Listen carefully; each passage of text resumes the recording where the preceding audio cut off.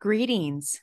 Today, I want to share with you about our assignment that's going to be ongoing throughout the semester entitled Making Connections, Setting Goals, Ongoing Self Evaluation.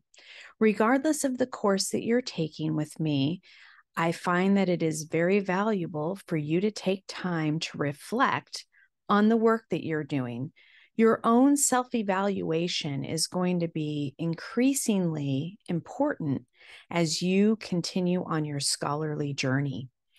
And so, what you have here is a template for an ongoing self evaluation.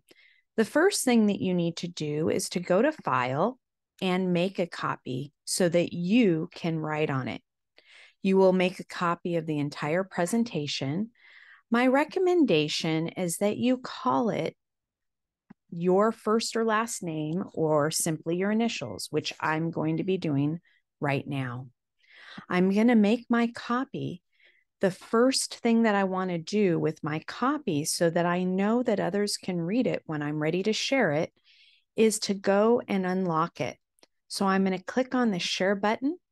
I'm going to go to where it says restricted and click on that and allow anyone with a link to view. Once I've done that, I'm ready to go.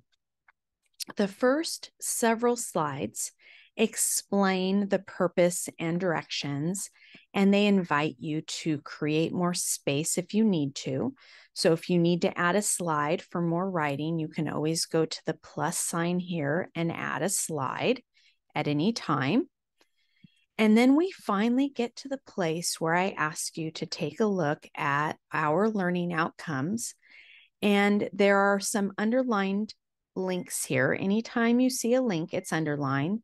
When you click on it, you can go ahead and open it and take a look at whatever resource I give to you. As we move, take a look at the number one. Number one corresponds with our unit. So, depending on the number of units that we study in your particular English class with me, will be determined by the number here. So, if you see that there are four numbers, we have four units. In this particular class, we have five. And so at the end of each unit, you are going to be invited to fill out several slides about your work. It's important to keep your work in front of you so that you can input the important information here.